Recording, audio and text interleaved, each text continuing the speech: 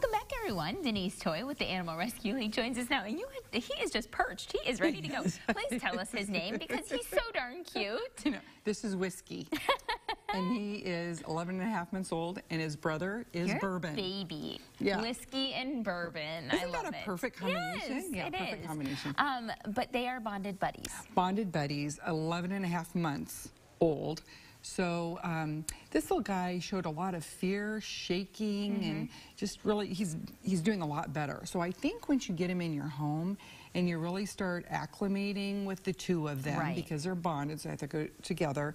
Um, I think you're going to have a whole house full of puppy, like you know, and they're hounds, right? So we've been singing hound dog, nothing Yep. but a hound dog. Yay, nothing So- but a hound dog. Yeah, so they're just hound mixes. I know you're a hound so dog. cute.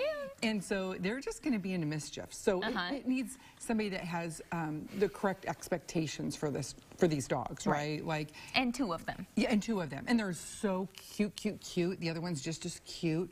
So you'll want them because they're so cute and lovable. But then, you know, Just understand what you're getting yourself Yes, into. mhm. Um, so how big are they going to get if they're 11 months old? I don't know. I think I think two years aren't they? I don't Yeah. know. Are they full grown at two years? I Is think so. So they're still going to get a little bigger. Maybe. Yeah, Yeah, but not I- too big. I don't think so. Yeah. I, because I think they're a dachshund hound mix, so I think that keeps them. Got it. Aren't you? You're just so pretty, so handsome. Um, so talk to us about this bonded buddies. You said you tried to separate them. We did. Since they were so young, they came in together. The family was not able to take care of them.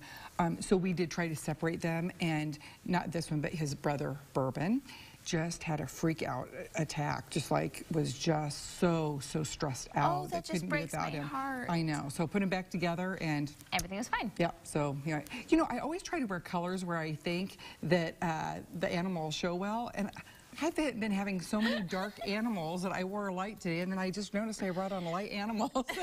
Well, he's cute enough that he's very visible. He's very smiley. he is very Um, smiling. what location do we find this He's at guy rest at? location, and we'll be back there in about 20 minutes. Okay, and uh, don't forget that he is a bonded buddy, so you get whiskey and bourbon together. Together How to make your house full of a lot of puppy. I love it. All right, Denise, thank you so much for Thank being you. here.